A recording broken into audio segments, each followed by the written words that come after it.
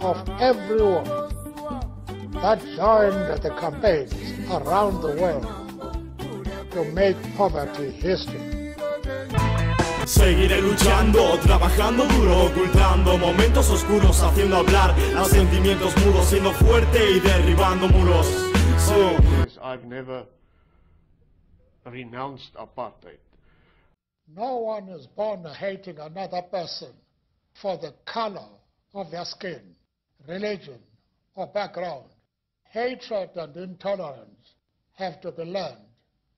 Even in the grimmest times, I have seen glimmers of humanity which reassured me that man's goodness is a flame that can never be extinguished.